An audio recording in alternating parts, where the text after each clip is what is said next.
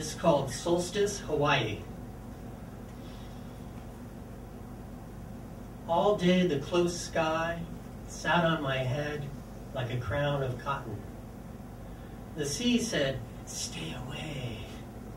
But I kept pacing around the cement pool to stand a few yards above it, we, above the world black and, excuse me, above the world black lava rocks where the red molts of rock crab dried by day to husk and crumble. And the waves urged everything they touched to join them. The week before, every sunset was the same bright show.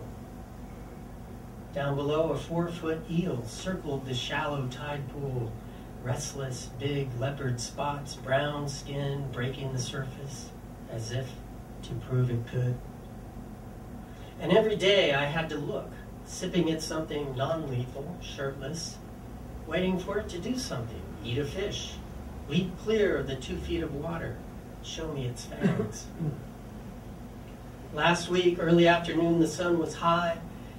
Dripping, I got out of the cement pool. The eel had come early.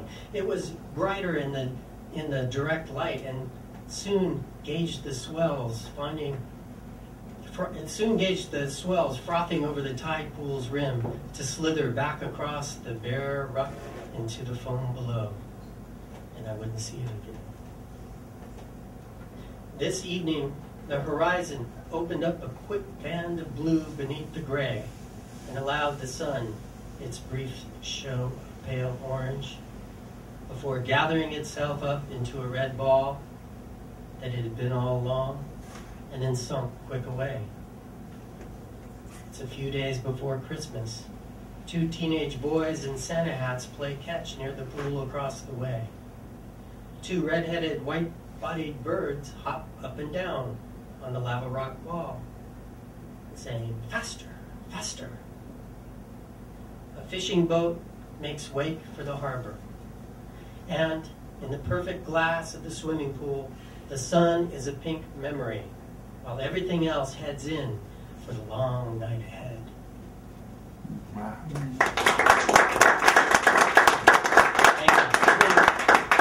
This is coming home from Hawaii after the one storm before another. The sky is an angry blackish gray of roiling clouds every time I walk outside the late rain shimmering on bowing bamboo near the path drips water down my neck. And now my car doesn't want to start in the cold. And I caught a cold from tropics to redwoods. It's clouded my head like the crazy sky above.